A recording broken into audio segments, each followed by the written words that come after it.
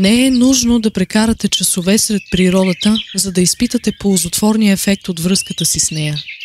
Ambience TV е създадена за това.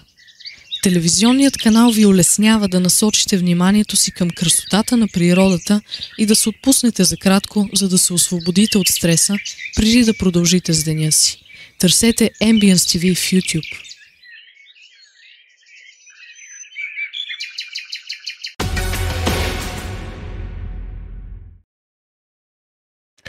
Здравейте! Започва рубриката Място за мислене в предаването Видимо и невидимо. Аз съм Диан Кюранов. Днес казвам добре дошъл на Георги Тенев. Георги Тенев е сложен човек, защото е писател. При това съчинява и прози, и стихове, и драма. Не стига това, ами е и актьор, и режисьор с три думи, човек на изкуството – с една дума талант. С още една дума разнопосочен талант. Сега тук ще тръгнем от едно от, по една от многото посоки на таланта Георги Тенев, талантливото му мислене. Мислене с логика, фантазия и смелост. Упорно и до упор. Някои от резултатите на това мислене ще чуят днес – Георги Тенев ще сподели с нас своите мисли откровено, както всеки гост на място за мислене. За откровеността, както винаги, аз гарантирам лично. Ще си говорим за филм. Все едно, че няма война. филм е за война, за оная война, за руснаците и немците между съюзническа. 41-45 година. Я, я ти разкажи за филма, всъщност. Аз малко се е, напрегнах от е, това представяне. Ще сложим всичко в едни големи кавички за а, сложни образи за таланта. Всъщност интересното е... Аз няма. Да, е, интересното което ни срещна нас в тая тема на филма е, че всъщност, може би, както си прав, а, сякаш няма война, защото в този филм, този филм е, се появява на екран 2012 година. И това е твърде интересното, защото а, това е филма Белия тигър на, може да се каже, на водеща фигура в а, руската киноиндустрия, може да се каже в този смисъл идеология до някъде. Едната от двете да, водещи фигури, други да, е Михалков. Да, доколкото и самият... А това е, нека да го да. кажем, нали, филма е руски, режисьор е Карен Шахназаров. Да, Карен Шахназаров, който и тогава и сега продължава да бъде нали, главната фигура в Мосфилм човек, на когото всъщност така възхода на тази индустрия дължи много. Изключителен професионалист, зад гърба си с страхотни а, филми. Майстор, какъвто трябва да бъдеш, за да можеш да правиш това, което той прави. И тук се появява именно в годишнината на Мосфилм и то в голямата кръгла годишнина, като тържествено произведение и след това логично и като предложение за академичните награди Оскар, се появява този филм Белия тигър, който лично за мен беше изключително интересен с много неща. Сега това, че има мистика и фантастика, като жанрови отлики в един филм за Втората световна война, руски, това е много странно. Да. За Втората световна В който война. има мистическо същество като бога на танковете, има парапсихологически почти неща, с които се сблъскват а, офицерите от а, нали, разузнаването. Това са забележителни неща на ниво разказ, които ако ти ги хвърлят така, ще кажеш такъв филм няма. Не такъв филм, филм има и той направи много насериозно, но ние се срещнахме с тебе а, върху един интересен, една интересна тема, неочаквания му финал, който за мен до днес продължава да бъде загадка, но много интересен и емблематичен. И това е един голям монолог на Адолф Хитлер пред неизвестен слушател, с който завършва филма, който е филм в крайна сметка за победилата страна, но там монолога е на победения самоубил се лидер на загубилата страна. А, при това чисто хронологически, това е вече след самоубийството му, защото преди това сме видели с почти документална точност подписването на постдамския мирен договор, нали, Да. капитулацията на Германия. Да, да. На, на тази сцена, която също препоръчам, която а, маршала Кайтъл всъщност подписва и, и целият, как да кажа, кухнята около всичко това е блестящо направена. А след това обядва. Обя... Вече да, Продължително. Да, а, когато получават и от а, своите, така да се каже, домакини в кавички, почти арестувалите ги, нали, руски победители, получават едни, едни десерти с а, ягоди и сладолет, струва ми се. Но В кристални чаши. да, много, много интересен, според мен е много интересен и знаков а, целият този филм и затова заслужава тълкование, защото аз мисля, че сега, особено когато тази обществено-политическа военна ся- ситуация е толкова развредена, разбира се, всяко едно говорене и анализ много лесно може да стане бистрене. Бистрене на политиката, бистрене на войната, бистрене на идеологиите, което се случва в такива размери в а, онлайн и офлайн, да се каже, че е излишно човек да, да допълнително да допринася. Но връщайки се към 2012 година, когато нито има все още а, военен сблъсък в Крим, а даже ние би трябвало да се върнем малко по-назад, защото този филм е написан 2010 най-късно. Да, за да може да бъде Да, завършен. а може би и по-рано. е, Да. А, значи, това изразява една гледна точка, много важна идеологическо произведение, което казва нещо, защото това не е произведение от типа рисуван пейзаж за себе си или каприз на художника. Това е важно идео- произведение на най-важния активен производител на филми в Русия по най- една от най-важните исторически теми на руската култура и история а, в юбилейния филм. И значи всичко, което се случва вътре е много знаково и ми струва интересно, че този последен монолог, който е даден там на, на Хитлер, всяка дума и не случайно много анализатори разчленяват и си задават въпроса какво е това, защо е това и на кого говори този персонаж. Хайде да видим на кого говори и какво им казва.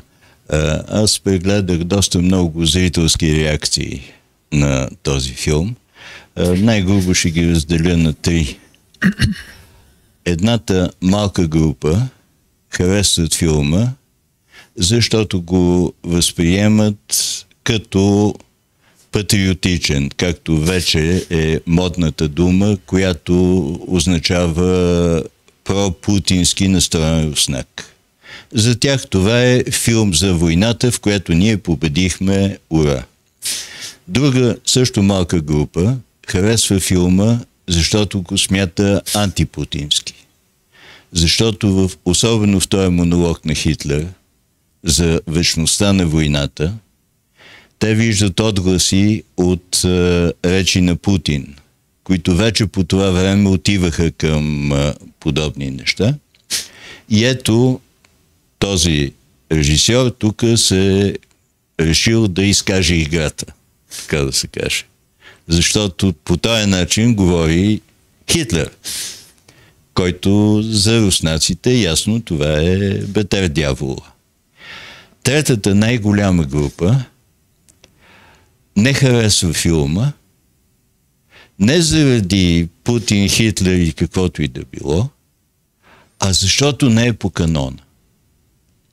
Нали, ние си казахме в началото, руски филм за войната, за танкове, някакъв немски танк, бял тигър, изведнъж филма не е за войната.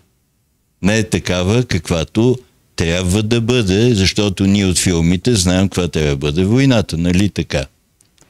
А този филм не е такъв, значи не е хубав. Това е а, на Това руската е, публика и критика. Това, вероятно. е, е, това са зрители, не е професионална критика. М. Професионалната критика е между е, първата група, която го харесва, защото е Да. пропутински, и втората, която не го харесва, защото не е по канона. Ние имахме един шанс, но го изпуснахме 2015 година с самия режисьор, който е имал панорама тук да говорим. Не, не, не, нали, не, не Да. да. пропуснате шанса.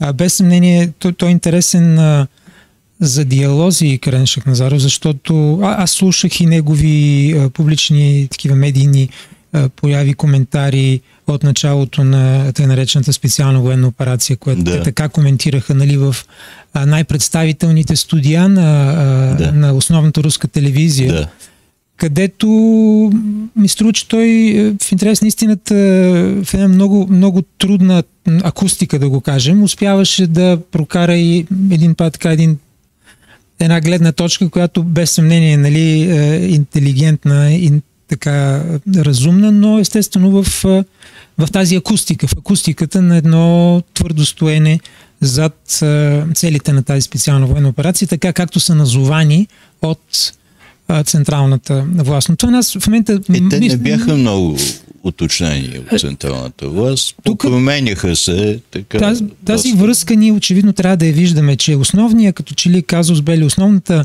тема за, вой, за войната, за, за война да. или специална военна операция, или както и да е спасителна операция, дори да я наречеш, нали, основното какво спасяваш, кого спасяваш, нали, беше назовано, че се спасението е от фашизма, от нацизма, от някакво негово възраждане. Това, това да. бяха, така да се каже, а, денацификацията е да. мотора на това действие от гледна точка на неговия... В началото се наблягаше на това. На неговия инициатор, е говоря в крайна сметка, да. не говоря като властта. Да. И интересно е, че този филм, който виждаме, който е 20, 10 години по-рано, да. направен и който е казваме колко важно е идеологическа точка, юбилейен филм, да. много скъп филм, между другото, а, с изключителен ресурс направен, затова може би може да кажем после, но този филм всъщност връща темата отново, че това като че ли остава да бъде проблема на бъдещето, а, защото в финалните думи на а, така, екранния Хитлер той казва войната е началото и по-скоро на немски той казва войната е първичното състояние каквото и да правим, ние ще се върнем към нея. Малко преди това казва, това, което всички в Европа искат, но се страхуваха да кажат, е едно решаване на два проблема. Проблема с евреите и проблема с това мрачно, страшно място Русия, от което всички се боят.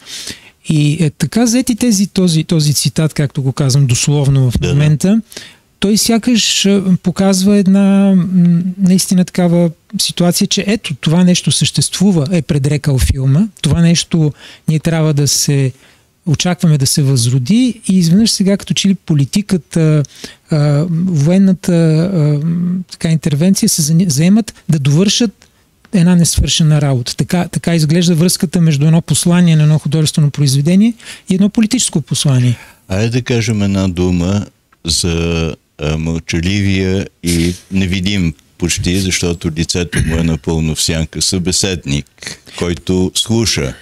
А, той е монолог. И аз много се чудих, като, като много хора, които са гледали филма. е той? Не знаем според теб кой е. А, колективния Запад. Не, аз не... А, това е чисто политическо тълкуване, грубо, и мисля, че имам основание обаче. А, защото а, за мен е ключова началната фраза. Ние с вас се познаваме добре, казва Хитлер. И отдавна. Да, и отдавна.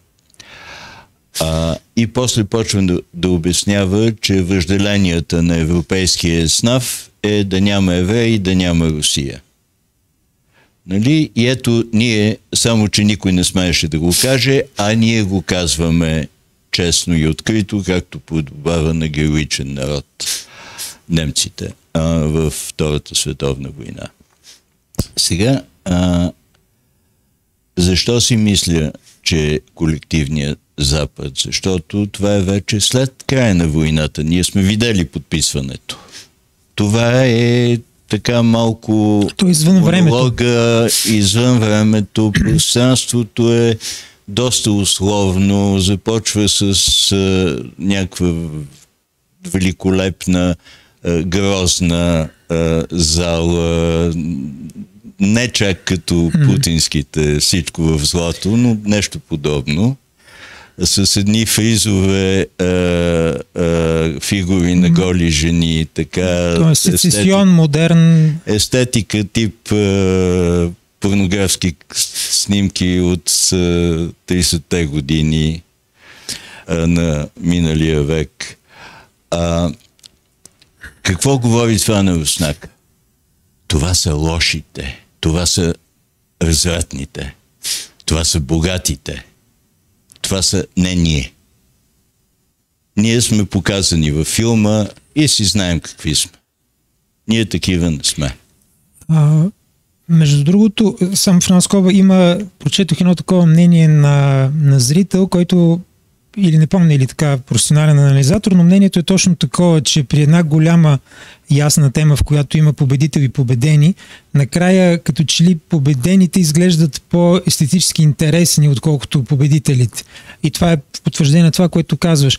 Но не мога да се съглася... И мисловно интересни. А, е, да, като че ли подсветно е там. Но тази зала, между другото, е построена в, а, в студията. Тя е, mm-hmm. И то е построена като истинска зала. Това не е просто а, завеса.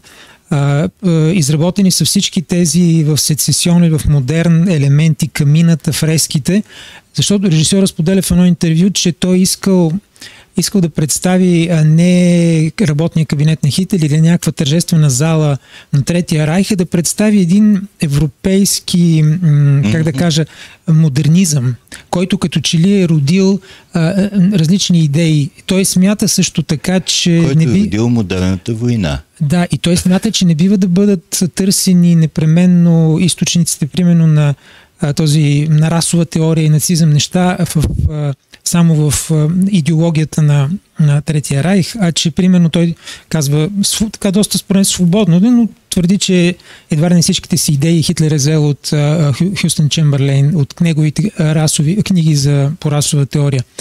Но това пак не знам, това е работа. И не стигаме ли до моята грубянска схема колективния Запад? Аз не съм. Значи... Те са за мене а, Хитлер говори на макар мълчалив, но съмишленик. Той Това... Е- говори на тази Европа, която си мълчаливо искала да няма евреи, да няма Русия, ма не е направила нищо, за да ги унищожи. Ту, аз не съм нали, полити, историк на полити, политолог или историк или социолог, затова всички тези неща са напълно не, възможни. малко съзнателно грубянство. Не, не, не, не, съгласен съм. Искам да кажа, че има различни отговори от различни перспективи, да. тъй като филма е много високо идеологически. А, между другото, режисьора Шахназаров, който нарича себе си марксист и убеден, смята, нали, че израснал в да, и идеологически а, така, нали, диалектическия нож на анализа марксистически е негов, негов. Той очевидно има носталгия към идеологията. Той наистина смята, че време без идеологии не е възможно и че всъщност е време да се уточни, да се изразят, да се изкажат в крайна сметка хора каква е новата идеология. Честно. Да. Но тези неща ги оставям на хора, които са чели повече, нали, той смята, например, не съм сигурен дали съм чел от него това, че би трябвало да се разделят а, фигурата на политика Маркс, който пише комунистическия манифест като политически деятел, от фигурата на философа, економист, а, а, а, нали, мислител Маркс, който пише трудовете си върху капит... нали, принадената стоеност. Тук става сложно. Но пак оставам на страна, защото не съм специалист. Аз съм Точно така. докторирал, както се казва, с дисертация за немския рационализъм и специално Знам, за това, го, за това а, те раздразвам. Така че айде да, да. да не почваме. Но, но има нещо, в което това е филм. И тук има, разговор. Да, и да. тук има нещо, което а, ме е интересен този анализ. И то е, това, това са два персонажа в една сцена. А, това е, е, от тази гледна точка е, е, също има въпрос, който не мога да си отговоря, защото той не е ясен. И това прави сцената също много, много странна, без режисьора да иска да прави абстрактни неща. Той е конкретен режисьор на класическия метод на, на, на конфликта, на свръхжеланието, на свръхцелта, мотивиран, нали, той не е, не, той, той си е в школата, на, от която си е представител. И сега имаме един герой, всеки един текст, всеки един монолог е като продължение на ръката. Независимо дали в театър или в киното, но той е като това, което не можеш да извършиш с ръка, ти го правиш с думи. Този монолог има някаква цел. Ако той искаше да го каже на някакви хора този текст, най-вероятно ще да го върне към камерата, много силно и много мощно, и да говори на всички нас или тях, които и да са. Но той слага един диалогист, който мълчи. Слага го в много странна сянка. А самия Хитлер е в десен профил и само в десен профил. Да, да. това по-скоро нали, като естетическо така решение, но този човек, към когото той говори... А, той също не говори към нас. Да, да. Но, но тук има диалог, има, има някаква, всеки монолог има някаква цел. Накрая, между другото, а, нали, героя стига като че ли до някъде, но не чака отговор. Очевидно това е послание, което ще му дойде отговора след време. Аз казва, той ви казвам някакви неща, вие се страхувахте да си признаете това, което сънувахте, но ние просто си го направихме. Да. Той не иска тук и сега отговор. Но кой е този, на когото говори, както питаш ти? Много хора се питат това. Критици, зрители, фенове, да. хейтери, да ги наречем. А, да, сигурно. А, и аз добре. се питам също. Той прилича на Мефистофел по някакъв начин, казват някои. Да. Но, а да видим отново специалния руски контекст и руската публика. След края на тази война, в Русия царуваше един лозунг. Само война да няма. Да. Е, този филм, според мен, е първия ясен опит за кръгом, за обръщане обратно. Господа, или е, капелета, войната е вечно съпътстваща човека. Тук Ницше, каквото щете, Фройд, да, да. да блъскаме. И заради това, стига с това мир да има, война да няма, да си приемем, че война ще има. Конфликта между Белия тигър, духа на войната и Иван, руският танкист, който иска да го убие, не завършва. Тигъра изчезва в неизвестността. Иван готви танка си за нов бой с него. Той ще го преследва, въпреки че войната е свършила. И леко, леко се приближаваме към Крим и към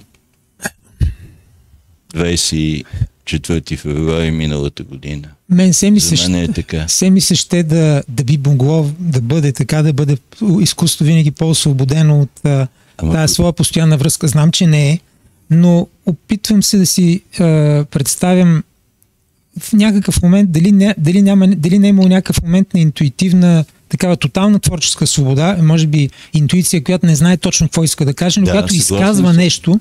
И ето, само това повече продължа анализа на това на кого говори да. Хитлер. Да. Той не говори на един човек, ако това е, как ти кажеш, вие хора, които се да. страхувахте да направите това и винаги ще искате да правите това, което ние опитахме да, да направим, да. и вие, които винаги в крайна сметка ще тръгнете срещу Русия или срещу да. евреите, да. А, просто това нямаше да бъде един персонаж с доста хладнокръвно перфидно такова стоене с ръцете една върху друга, слага си после ръката тук. Той гледа като някой, който едва ли не като психоаналитик, който гледа Хитлер като свой обект или като човек, който е извън времето. Това много да, хора дават. Този в тъмното. Да. да. Те дават основание като че ли да възприемат по-високо в някаква иерархия този друг човек. Какво е, на кого а, той... Ученика на дявола и самия да, дявол. Има хора, които дори, виждал съм така извадени кадри, които въпреки, че е в тъмно и не се вижда този, към когото се говори анонимния, сравняват а, с скулптурата на Марк Антоколски а, белия Мефистофел да. с същата позиция на ръцете, само нали носа не е толкова остри брадичката. Би могло. И би могло да бъде. Би но могло. какво иска да... А, нали, от една страна това може да бъде един голям пацифистки е, жест, който да каже войната от дявола, а, лудостта, политическата лудост винаги ще се оправдава с някакви необходимости, свобода, повече економическо пространство, свобода или да махнем другата раса, дет ни пречи, или да предотвратим войната, като влезем първи и така нататък. Тоест, и тогава винаги ти говориш с дявола, ти луди човече, който запали Втората световна война, ти сега завършваш своята изповед пред твоя баща. Така може да се възприеме пацифисткия кадър на, на, то, може, на това послание. Съм. И за това има и такива, които харесват филма, mm-hmm. защото усещат подобни неща защото за тях внушението войната е добро е дяволско внушение, а не божествено. За мен е по-странното и по, как да кажа, в другата посока е това, което е и гениалното зранце на сценария на филма. Да. И това е, че има един безсмъртен танкист, който не изгаря, независимо, че танка вече е стопен и който говори с танковете и ги чува, което е наистина за мен беше е, втрещяващо, когато гледах филма. То такава изненада в, в, в, в клишето на класическия военен филм руски да видиш някакъв такъв пробив сюжетен, но там също това подлежи на анализ. Какво означава? Има ли бог на танка? Има ли танков бог, както казва героя Найденов? Съжалявам, трябва да свършваме. Кажи нещо за финал. Според мен, ако Явно, не е лошо да се гледа като, този филм. Като говорим за изкуство, да. не може да слагаме точка май.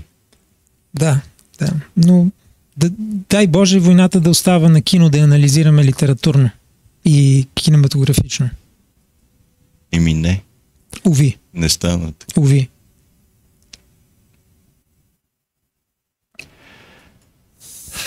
Това беше всичко за днес в видимо и невидимо място за мислене. Благодаря, че бяхме заедно.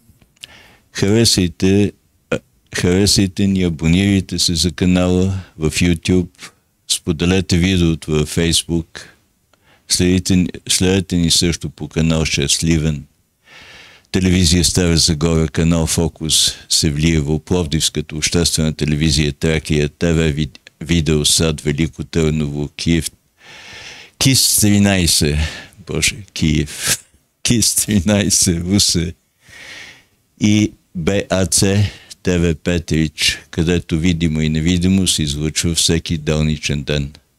Приятна вечер!